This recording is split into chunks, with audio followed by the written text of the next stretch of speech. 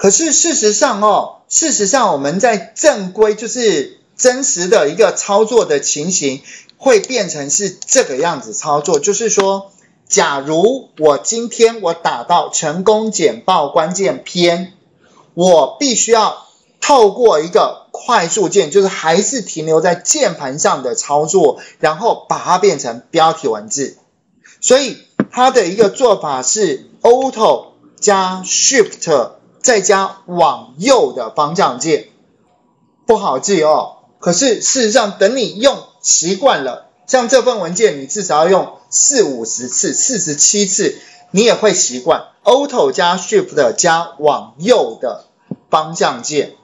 可是现在它是标题二嘛，怎么变成标题一？那就按 Alt Shift 跟往左的方向键，它就变成标题一了。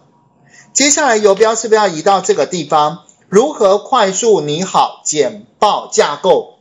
打到 “Go” 这个字完毕之后呢？怎么样把它变成标题二？Alt Shift 往右的方向键，这样子我们就可以把现在这样一份文件内容呢，变成什么？变成拟好简报的这个样式，可以吗？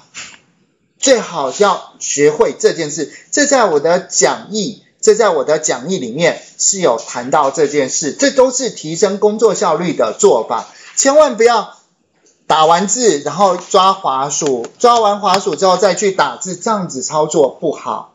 最好都是停留在键盘上，所以可能这边要背一下，因为一份文件大概要用四十多次，这快速键的使用应该是蛮值得你学会的。好。请你们现在动手来去练习，使用快速键把内文段落变成标题文字。